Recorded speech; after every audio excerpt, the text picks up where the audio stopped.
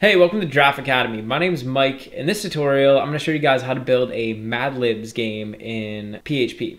Now, if you're not familiar with Mad Libs, it's basically a game where you can enter in like a bunch of random words, and then you'll take all those random words and kind of like sprinkle them in through a story. And usually, because you entered in a bunch of random stuff, the story ends up being like pretty funny. Um, I actually have a picture over here in my browser.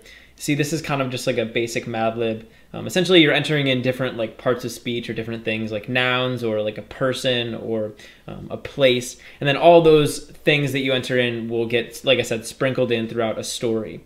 So we're going to build something like this, just like a Mad Lib. Essentially, we're going to allow the user to um, enter in a bunch of different words, and then we'll take those words and put them into our story. Down here, I have a little basic story set up, and it's basically just saying roses are red, violets are blue, I love you. So this is kind of like a classic poem, um, but I think it would be a lot better if we mad libbed it up and we allowed the user to enter in some, you know, random stuff. So how about instead of saying roses are red, we let the user enter in a custom color. So this will just be like a color. Instead of saying violets are blue, why don't we let them enter in their own plural noun? So, and then finally, instead of saying I love you, why don't we let them say I love and then some celebrity. So I love celebrity. So now, um, instead of saying roses are red, violets are blue, I love you, it's going to say roses are, and then the color that they enter, the plural noun that they enter are blue, and then I love the celebrity that they enter. So this should be kind of cool. And you can see just over here in my program, I'm printing it out. And in order to do this, we're actually going to have to get information from the user. So we're going to have to let the user um, enter in some words that they want to use in the story. So up here, I have this form already set up, and it's just action site.php. This is the name of the PHP file that we're currently on, and it says method get. And then down here, I have a submit button. So this is a, a very basic form outline.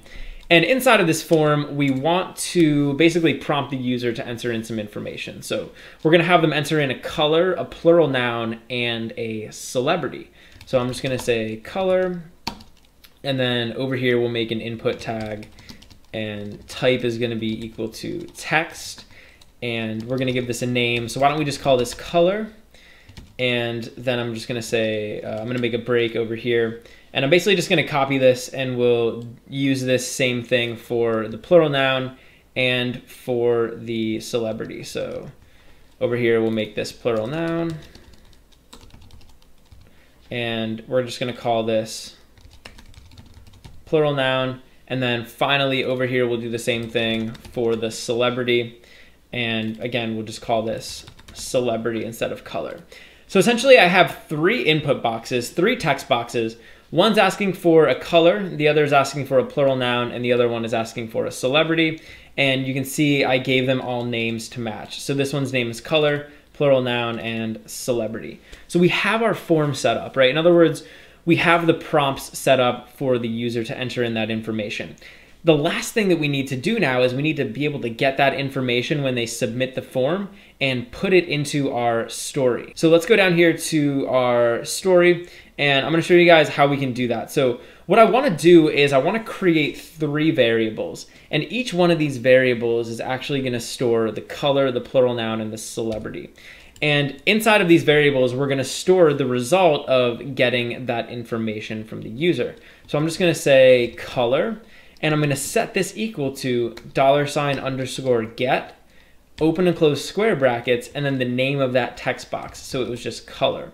And basically what's gonna happen is when the user submits the form, this variable is gonna get populated with whatever they entered in for the color.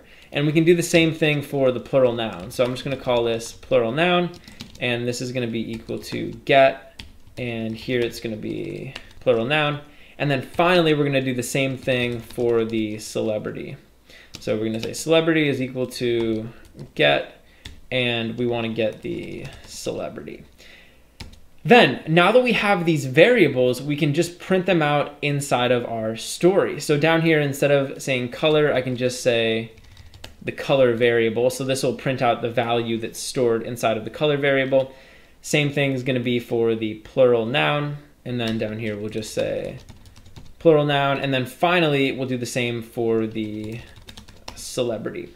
So essentially, I stored all of the things that the user input inside of these variables, and then down here, I'm actually going to print them out inside of the story.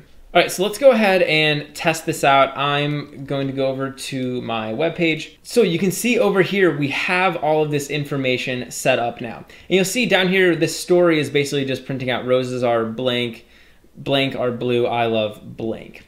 And then over here, we can actually start submitting some information. So over here in color, I'm just gonna type in magenta, plural noun. Why don't we do like microwaves? And then celebrity, let's do Tom Hanks.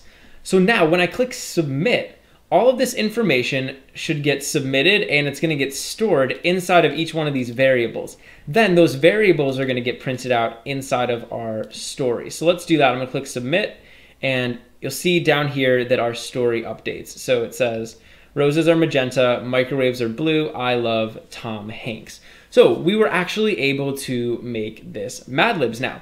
Now, obviously, the one problem with this Mad Libs is that, um, you know, if I was to like reset this form, this is like showing up here before we actually submitted the form. So ideally, we would want this text to show up after we submit the form, like after the users entered in all the stuff and not before. Um, and actually later in the course, we're gonna learn a technique that we can use to do something like that. But for now, this kind of works. And you can see how, you know, we could essentially enter in whatever color, whatever plural noun, and whatever celebrity we wanted, and it would show up inside of our story just like that. So hopefully that makes sense.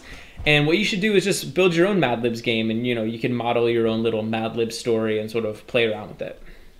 Hey, thanks for watching. If you enjoyed the video, please leave a like and subscribe to Giraffe Academy to be the first to know when we release new content. Also, we're always looking to improve, so if you have any constructive criticism or questions or anything, leave a comment below. Finally, if you're enjoying Giraffe Academy and you want to help us grow, head over to giraffeacademy.com forward slash contribute and invest in our future.